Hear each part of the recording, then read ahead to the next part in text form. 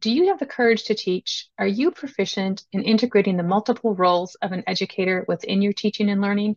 Do you know how to connect content with lived experiences? Would you like to improve your ability to connect SMART goals with course and session assessment techniques and teaching methods? Do you want to continually advance your teaching career and consider growth opportunities? If yes to any of these questions, then this course is for you. Take this day to spend learning from, by, and with peers, along with the nationally recognized faculty in teaching, to be a fully engaged participant, discovering and applying SMART goals to assessment and teaching methods at both the course and program level.